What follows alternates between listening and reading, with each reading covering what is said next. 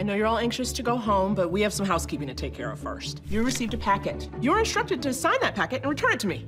So let's just be reasonable adults and sign our packet so we can all go home. Sound good? No. No. No. We have the meeting with Montreal next week. Where are we with the expansion? We've been working really well together. Boom! I've seen this pattern before. It's the calm before the divorce. We are not your parents. I was talking about my own divorce. Hmm. Although both apply, actually. I have a master's in fine arts. Wow, he didn't ask for a podcast. That's what I was gonna say. I was just gonna say. I don't That's need to just hear so much information. I feel like we're on the same page. We're really Kind of vibing. Yeah. Something bad is gonna happen. Here we go. I can drive stick.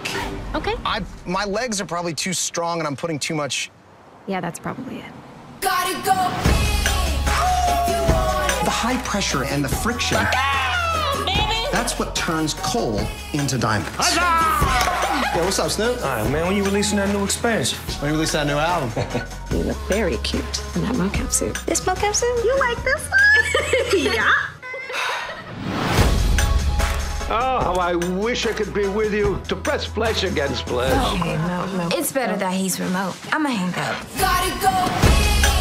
That shirt is so tight that I can authentically see your nipples. Why are you looking at my nipples? It's hard not to. You're kind of asking for it. That's victim blaming. You can't blame me. You are a victim of nothing.